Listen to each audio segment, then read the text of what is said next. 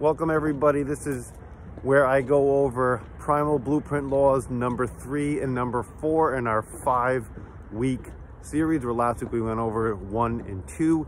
This week we're gonna go over Primal Blueprint Law number three and number four. The third Primal Blueprint Law is move frequently at a comfortable pace. It's exactly what I'm doing now uh, or the best example of that is what I'm doing now, which would be walking.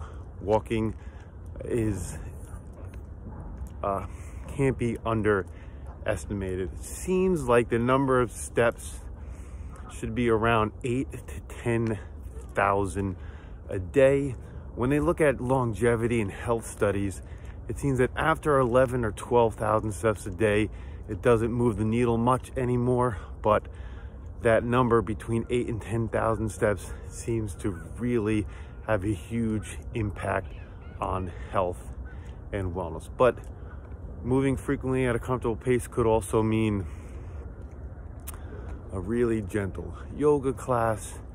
It could be other mobility. It could be a super light jog. You know, you want to keep your heart rate uh, 180 minus your age uh, that would constitute moving frequently at a comfortable pace. So that is the number three primal blueprint law. Number four is sprint once in a while. Now this is important. This might be something that many of you don't do. Suggested around every seven to 10 days. For me, I sprint pretty heavily for short bursts just about every two weeks. When you're doing sprint workouts, you have to make sure you absolutely feel 100%. And remember, your warm up and your recovery is much longer than the sprints itself. you could do it on a track, you could do it up a hill, you could do it on a Peloton bike, you could do a lot of different versions of sprints. I'll give you my example of what I do. There's a hill by my house and I'll run about a mile and a half warm up. Then I'll walk to the bottom of the hill and all out effort, and I time this, I sprint up the hill. Then I slowly walk down the hill, recover, and then I sprint up the hill again. And I do this five times.